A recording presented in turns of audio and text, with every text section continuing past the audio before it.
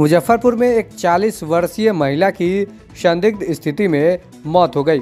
उसका शव railway track किनारे मिला। मामला काटी थाना क्षेत्र के दामोदरपुर रेलवे गुमटी के समीप की है, जहाँ महिला का शव मिला है। वहीं लोगों की मौके पर भीड़ जुट गई।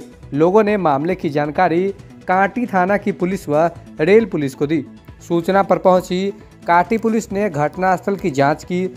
शव को कब्जे में लेकर पोस्टमार्टम के लिए एसकेएमसीएच भेज दिया। मृतका की पहचान काटी थाना क्षेत्र के पहाड़पुर निवासी 40 वर्षीय रानी देवी के रूप में हुई है। घटना के बाद परिजनों में कोहराम मचा हुआ है। परिजनों ने बताया कि मृतका के पति की पहले ही मृत्यु हो चुकी है। उसके छः बच्चे हैं, पाँच बेटी व एक बेटा। वह कोलुआ में बर्तन चौंका परिवार का भरण पोषण करती थी। वह काम करने के लिए निकली थी, उसके बाद वह लौटकर घर नहीं आई। उसका मोबाइल भी बंद था। जब देर रात हुई तो खोजबीन शुरू की गई। पता लगा कि एक महिला का लाश ट्रैक से मिला है। मौके पर गए तो देखा कि रानी का चप्पल व शाल ट्रैक किनारे पड़ा है, जिसके बाद थाने गए। वहाँ से एसकेएमसीएच पहुँचे तो देखे कि लाश रानी का ही था। मामले में पुलिस का कहना है कि घटना की जाँच की जा रही है। परिजनों का बयान दर्ज कराने की कवायद की जा रही है। बयान दर्ज होने के बाद आगे की कार्रवाई की जाएगी। घटना सर कुछ हम बोलते रहे हैं, सर, काम करने गई है। और काम करके लौटी नहीं है दोबारा।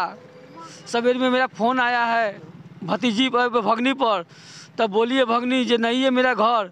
तब हियाँ पूछिए, तब बताइए जे हियो नहीं है। तो हम लोग गए हैं वहाँ खोजने के लिए तो रेलवे लाइन पर चप्पल उप्पल मिला है। मुखिया के करने गए हैं। तो बोला है, जे जाइए थाना पर। जे जाकर अथी लिखवाइए। तो गए तो थाना पर थाना वाला बोला जे, ये यही रेलवे लाइन पर लाश मिली है।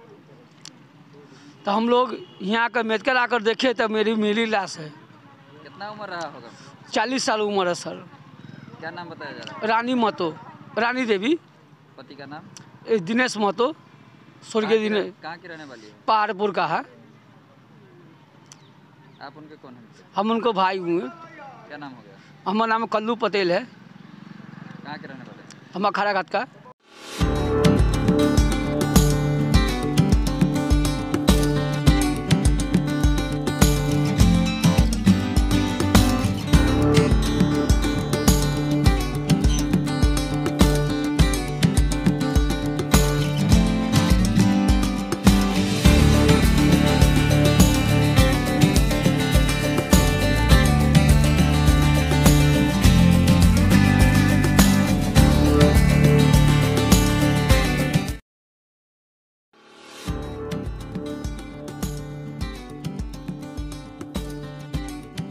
अपने शहर मुजफ्फरपुर में पहली बार आ गया है मैजिक ट्विस्ट टर्किस आइसक्रीम तो बनाइए अपने पार्टी व नए आयोजनों को और भी खास टर्किस आइसक्रीम के साथ शादी बर्थडे एनिवर्सरी आदि के बुकिंग के लिए अभी संपर्क करें nine four seven zero seven four double zero six eight पर हमारा पता है third floor food court grand mall Mithanpura Muzaffarpur